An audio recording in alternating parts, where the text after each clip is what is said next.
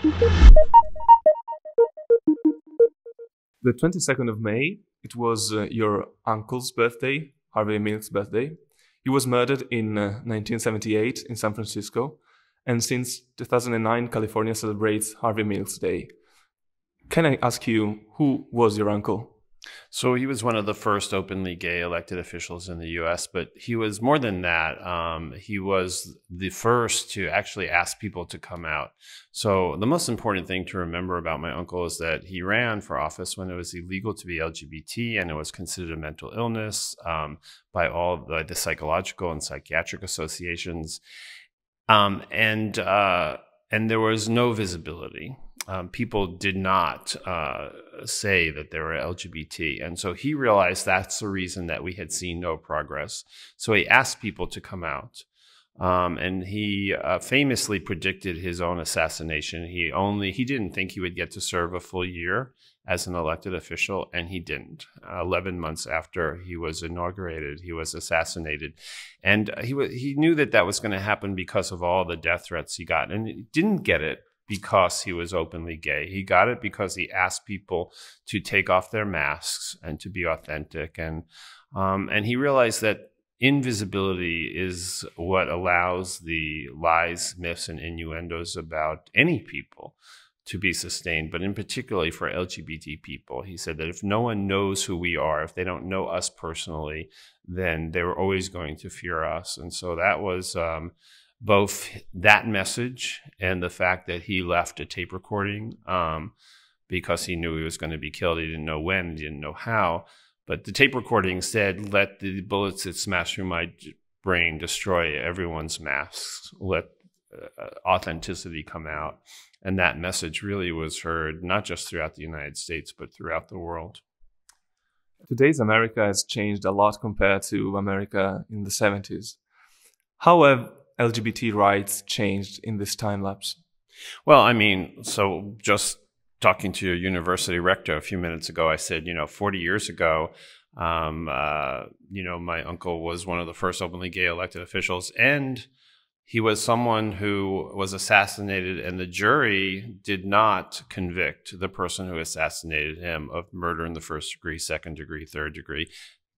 He, they they came back with the verdict that his defense that the assassinator's defense attorney asked for, which was uh, manslaughter.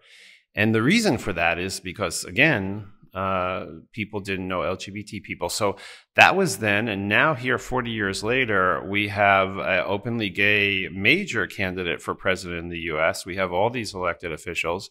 Um, uh, Harvey Milk Day is an official state holiday in California, signed by a conservative Republican governor. Um, so uh, we have come a long way, but our battles remain, and our battles remain the same. They remain battles of visibility, they remain battles based on fear, and they remain battles of division. You and your foundation, the Harvey Milk Foundation, collaborated a lot with uh, LGBT movements across the world, uh, Europe, South America, uh, Middle East, Asia. Uh, where do you think you got your best results, and where do you think uh, there is uh, much more work to do? So the we don't we we don't base um, our work on us getting results. We base our work on a collaborative. So we don't actually accomplish anything alone. We work together and we work with local um, uh, NGOs and organizations. We will never go into an area unless there is a local support and we've been asked to come in. Uh, there are many places that I think I, I wouldn't, I don't like to rank uh, regions or companies, or, or, or, uh, I'm sorry, region or uh, countries. But I think where we've achieved marriage equality, not civil union, but where we've achieved marriage equality, we've seen tremendous progress. So sometimes we reach, achieve marriage equality like in the US before we have our full rights. So in the US, I, many people probably don't know this, but you can get married in all 50 states if you're a same sex couple, LGBT.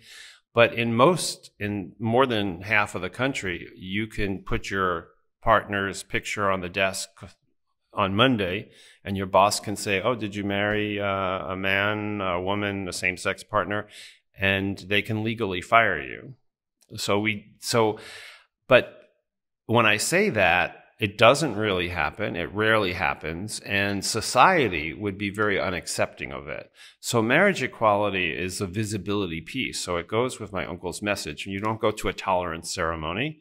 You go to a celebration. And, um, and so uh, I would say the countries and the nations that have marriage equality are the ones that have uh, sustained um, and uh, progressed on LGBT rights the most. And of course, we have now two nations, um, uh, Ireland and Australia, that got marriage equality because of popular votes, which probably would have been unimaginable 40 years ago.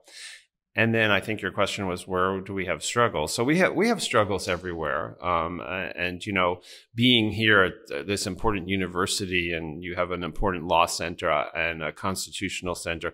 So I will, and a human rights center. I, will repeat actually the words of one of our founding fathers, Thomas Jefferson, who was asked, "When does the battle for equality and justice end?" And he said, "It would never end. As long as you have minorities, they are always subject to the tyranny of the majority, and we need to remain vigilant." And that would be my message. We all need to remain vigilant. And what kinds of dialogue do you have with religious institutions across the world? So we we will talk with anyone who wants to talk, um, uh, and uh, and I believe we've seen tremendous progress amongst some mainstream uh, religious organizations. Um, it's my personal view that religions are businesses, um, and they don't want to lose business. For example, in the U.S., we've seen a tremendous number of mainstream uh, uh, churches and synagogues and even mosques that have seen a loss of congregants um, when they were not open and affirming, and they've become open and affirming. Um, one of our biggest opponents uh, to uh, gay marriage and actually led to the repeal, brief repeal of gay marriage in California was the Mormon Church uh, the Church of uh, Latter day Saints. And they're based in Utah, but they really control the politics there. Well, I can tell you that two years ago, the mayor of Salt Lake City, their capital, renamed their main street Harvey Milk Boulevard. Um, and the church did not object. Um, and uh, the church was one of the main sponsors of changing the LGBT protections in uh, in hiring and in accommodation. So, because of this church that had been so fiercely opposing not just gay marriage, but LGBT rights of any kind, we actually have legal protection and employment and housing for LGBT people in Utah because of a church that had previously been one of our main opponents. And I hope that that, that keeps going. I think at the end of the day, even the little country in the middle of this of Italia uh, may realize that they have to move a little faster forward if they want to retain their status uh, and increase uh, uh congregants. Plans for the future? Immediate future, let's say.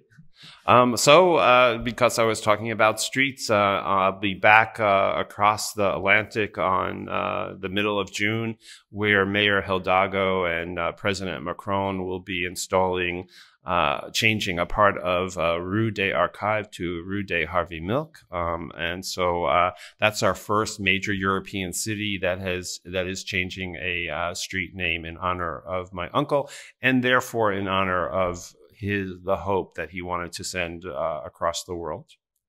Thank you for your time and your courtesy.